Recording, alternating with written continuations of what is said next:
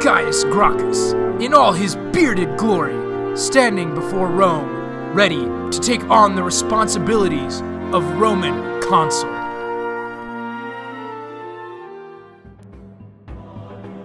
His opponent, Lucius Opimius, has no manly beard or chest hair and does not care about your well being in the Roman community.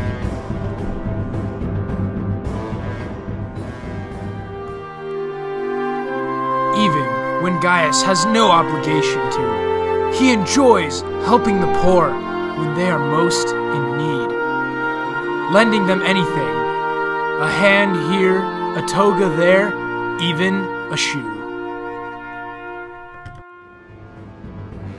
As Lucius strolls through town, he does nothing but terrorize the people, even those who have nothing left.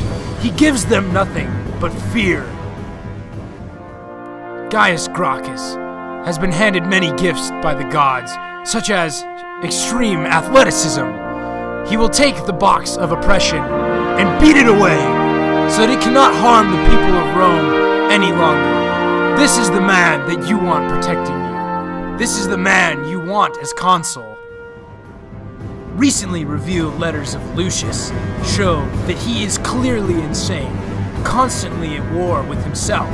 He is clearly a crazy Rex in the making. I'm Donald Trump, and I approve this message.